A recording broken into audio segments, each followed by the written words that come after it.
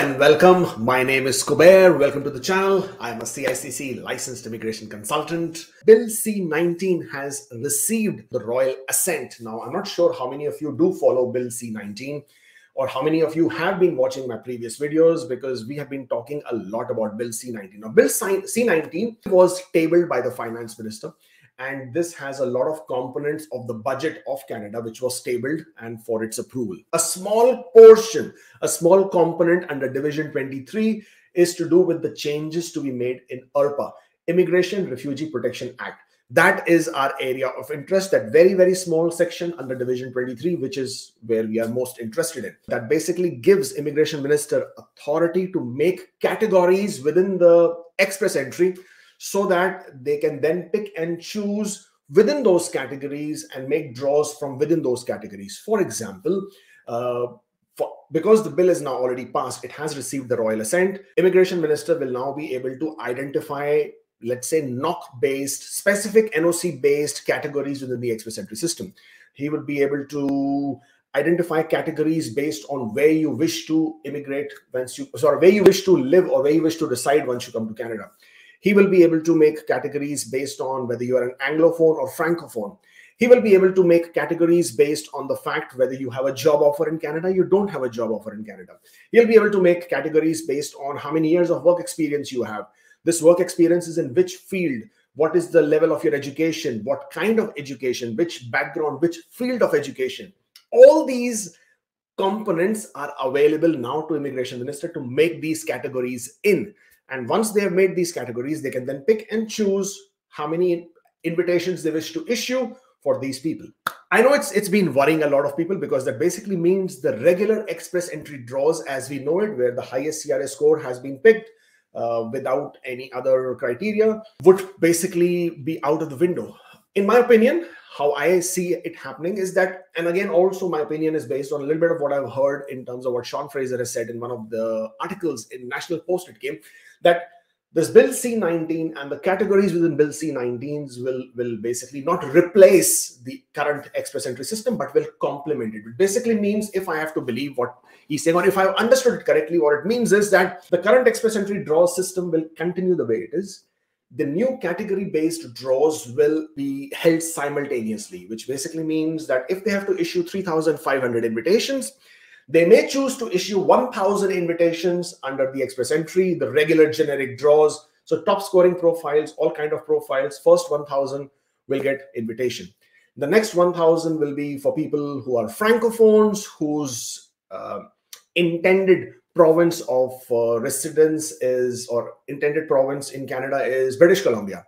The remaining 500 will go to people who have job offers the remaining uh, whatever i think what thousand is left. Remaining thousands or rather in, inside thousand remaining thousand invitations they will give it to it accounts hr professional managements or professional managers etc etc so could be any i'm just giving you on top of my head.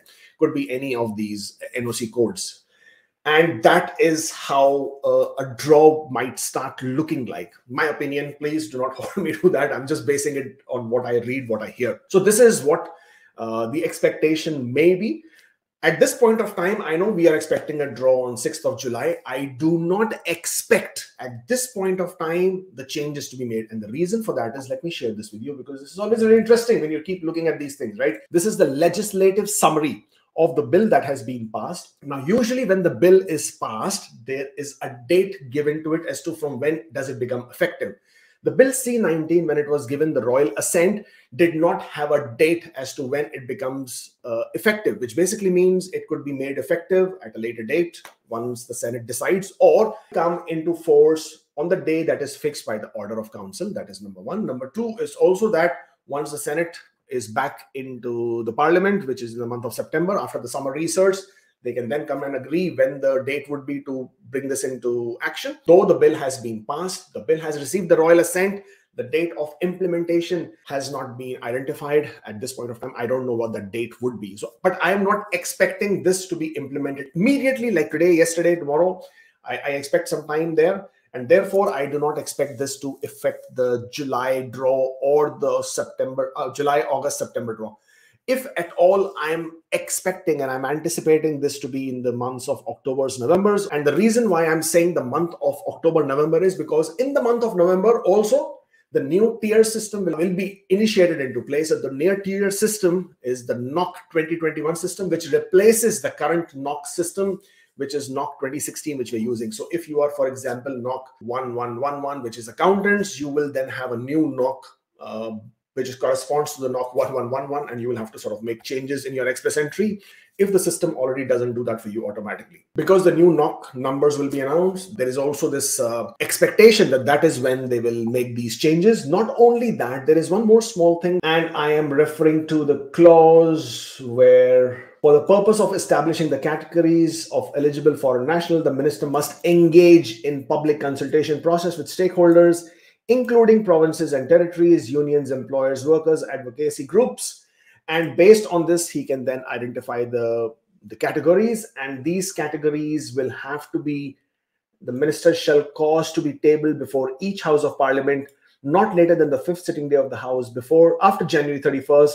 He has to indicate the list, or rather, he has to indicate the numbers uh, of the categories, what categories they are, what kind of goals they will uh, establish all that information the minister has to indicate. So the minister has to come out, has to disclose the categories. And I'm hoping that they do that because without that information, this is going to get very, very tricky. We won't really know what categories they are looking at. So I hope that we do this. I mean, I hope the minister does this. And because of this, that the minister hasn't still, or rather IRCC still hasn't identified which categories those will be. Therefore, my expectation is that this would be probably towards the end of the year and probably some it might actually move to the next year after they have announced or tabled these categories in the parliament and as per what has been amended.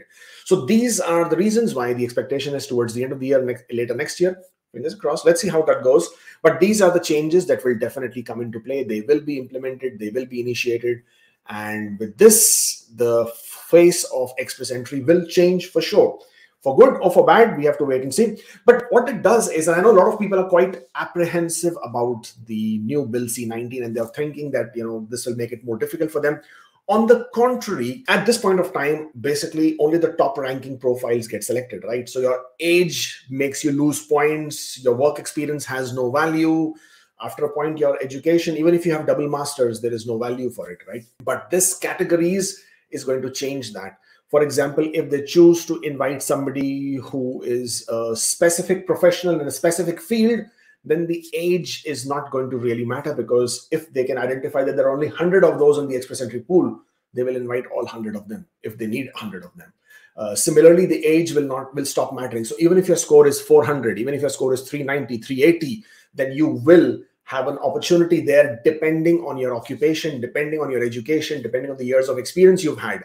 So therefore, the good idea would be have your express entry profile in the express entry pool. It's very, very important. One, because obviously the draws are resuming, so you should have your express entry profile already, all updated, all uh, all valid. Because we don't know. For all you know, Bill C19 again can get implemented any point of time, and you might just get picked out because of your work experience that you indicated in your express entry profile. If you do not have an express entry profile, you're not even giving yourself a chance. At least with an express entry profile in the pool, you still have a chance, whether it's with an Alberta PNP draw or with a draw that will happen from Express Entry. So please make sure you have your Express Entry profile all ready and, and all shining and all updated.